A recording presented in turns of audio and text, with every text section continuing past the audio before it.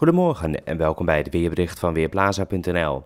Op de satellietfoto kunnen we het bijna niet zien, maar we hebben te maken met mist of dichte mist. En zeer lokaal komt zelfs zeer dichte mist voor en dan is het zicht minder dan 50 meter. In de loop van de ochtend gaat de mist geleidelijk aan wel afnemen en breekt langzaamaan op veel plaatsen de zon door. Vanmiddag zijn er dan op de meeste plaatsen zonnige perioden en dan wordt het zo'n 20 tot 22 graden. Blijft vandaag de hele dag droog en er staat en waait een zwakke tot matige wind uit het zuiden tot zuidoosten, windkracht 2 tot 4. Vanavond flinke opklaringen, is het een graad of 16 en in het binnenland ontstaat mogelijk een klein beetje nevel.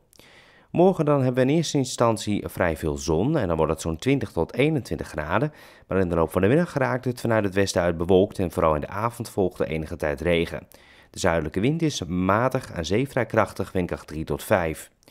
Zondag hebben we in eerste instantie vrij veel bewolking en nog wat regen. Later op de dag wordt het geleidelijk aan droger en breekt de zon nog even door. Met 15 of 16 graden is het wel een stuk frisser dan deze dagen. En ook maandag en dinsdag is het met 15 of 16 graden licht wisselvallig.